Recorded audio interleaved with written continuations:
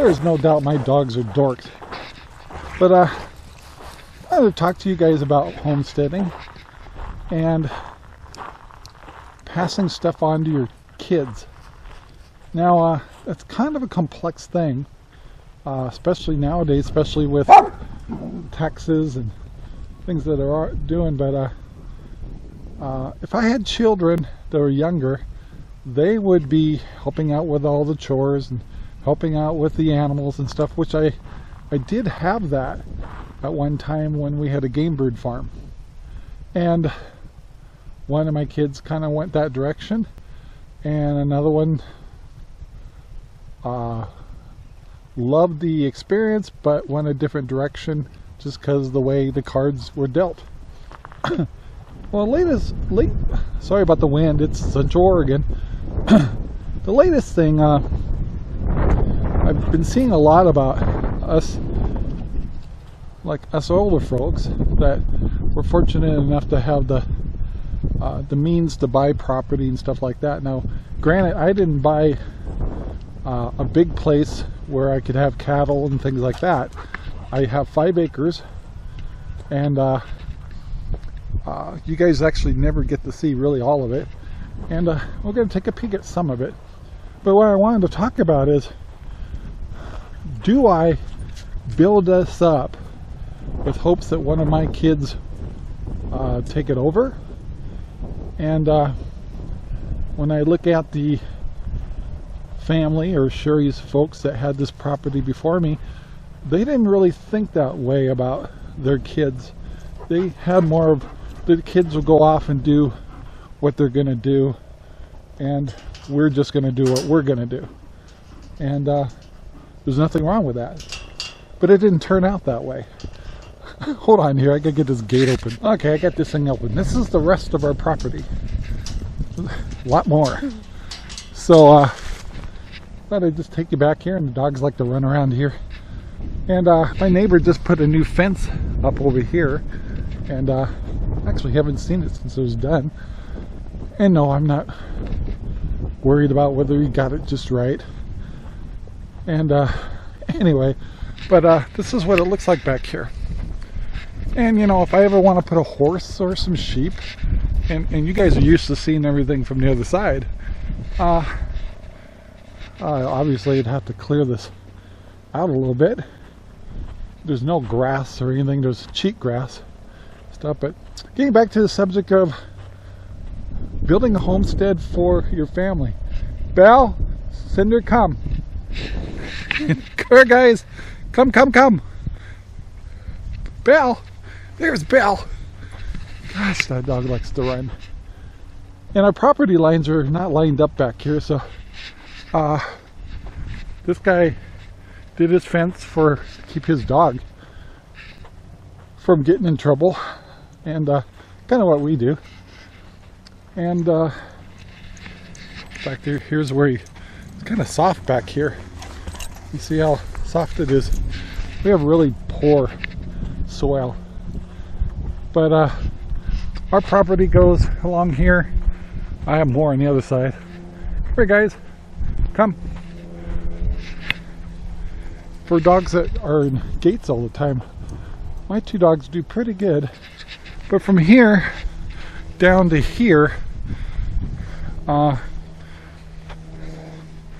I would have to put a fence from here to the corner. I'm actually off my property for a little bit here. To the corner over here. I could fence this off easy. Come on kids, come. And uh oh there's more. But uh I mean my kids might want to have a horse or sheep or goats. This would be perfect. Not really in my uh, plans. We'll see. Uh, but I'm older. Belle, come. Um, so do you build up your homestead for yourself? Do you keep your kids in mind? When I say kids, my kids are older. But, uh, you know, they're all wrapped up in the rat race. And just like Sherry and I, over time, that rat race was getting insane. Sorry about the wind. And so we made changes, slowed down a little bit. Decided there was more in life than eating $100 dinners at a restaurant, going to the casino every weekend, doing expensive trips. We hardly leave the house at all anymore. Got things to do.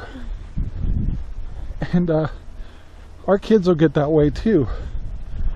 Both of them have children, so they're in that keep up with the kids, keep up with the bills, keep up with the health care, try to keep an income. Luckily, all my kids haven't been a victim of all this uh, uh, cancel, people losing their jobs. So, talk a little more.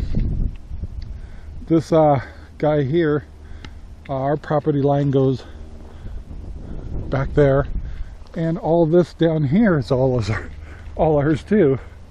I don't know if I'll ever use it. Bell, Cinder, come. And if I can keep my two troops together, it's good to see them run. And there's room back here. We got a lot of deer and critters back here and coyotes. And uh, here they come, and there they go. Just full-time wrestling. So anyway, I kind of want to give you an idea what the property was like outside of our property, oh, of our fence. And Sherry's dad designed it that way, so he can keep the deer out of the gardens and stuff. Cinder, Bell, come, let's go. See if we can get my troops back here. And uh, you know, I, uh, you know, circumstances change.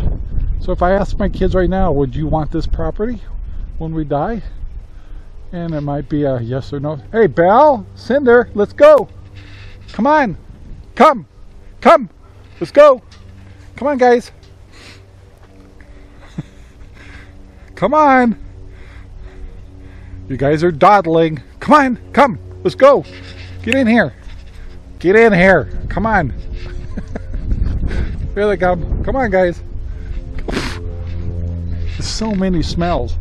I can hardly keep their attention. Come on, guys. Come, come, come. Come. Come on, Cinder. Let's go. Get in here. Get in here. Gosh, wrestle, wrestle, wrestle. Come on, let's go. Come, come, come. Jeez. Like herding cats. Let me get this gate closed. Okay, I'm back. I got the gate closed and the critters back in here. But uh, yeah, I mean, it's uh, our homestead isn't like Justin Rhodes or some of these other guys where they've got to clear the land and all that. I mean, we still got, if I was going to do anything with that property back there, there'd be a lot of tractor work. I'd probably have to plant some grass or something back there, get water to it. Uh, and getting back to the subject at hand, do we build our homestead up to try to keep it in the family? So our goal is we got siding in this house that'll last two generations. We put a 40 year roof on this house. And uh, we're making improvements for generator backups, fixtures, things like that and uh, they'll outlive me and Sherry. So there's one of two things. Either our kids, when we move on, inherit this, and maybe they want this lifestyle. Or when they get this, it'll be worth a good chunk of change. And they can just sell it and divide up the money and do what they want. I'd love to see one of them live, buy out half, and you know, um, and take this over. That would be really cool. And it'd be a great lifestyle for them. And both of my kids, as teenagers, grew up here in Central Oregon. That's when we had the game bird farm. So they have it in their blood.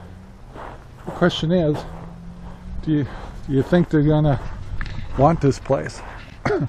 and do I, as a parent, continue to improve it and add things to it that when my kids get it and their grandkids and all that stuff can say their grandpa and grandmother built this and this is part of our family. It'd be the third generation in this location. They'll probably go, we got to do more with that pond. anyway, so uh, we've got more buildings to put on here, more uh, technology to put on here, and uh, and I know a lot of you guys are wondering why haven't we put these barrels back? They weigh a ton, and I swear I got to get my son over here and some volunteers. It took everything we could do to move that thing, and we were hurting afterwards. So we're waiting on these two until we get some more manpower. It's amazing how heavy those get with dirt in them. But uh, anyway, so thinking out loud, seeing other shows about uh, keeping property and, and and I remember I was younger and we go hunting in these big thousand acre ranches and I go, gosh, I'd love to have something like this, but the only way you can get it is through inheritance. Well, that's not with the tax situation nowadays. That's getting hard to do. So keeping a family farm or a homestead in the family uh, has its disadvantages depending what president we have. So anyway, I'd be curious, would if you bought a place like this or something with more uh, grazing land for cattle and stuff, would you want to try to keep it in your family? And would the rest of your family even want it? And uh, I don't know, I think about that a lot. And uh, you know, right now I got kids that are really, like I said, caught up in the rat race. Probably aren't aren't that interested in this kind of lifestyle because it's too slow for them, and uh, you're caught up in technology and in in the social world. But we all know that changes. so I don't know. What do you guys think? Anyway, thought I'd have this talk with you. Thought I'd show you a little bit more of our property, and uh, I, uh, I hope everything's good with you. Please be safe out there. Please take the time to like, subscribe, and share our videos all over the whole wide world. Right now, hit that like button. I appreciate it. Anyway, guys, be safe. We'll talk to you later. Bye. Our videos are made possible by Ranger Rob Poopy Bags, available at Amazon right now.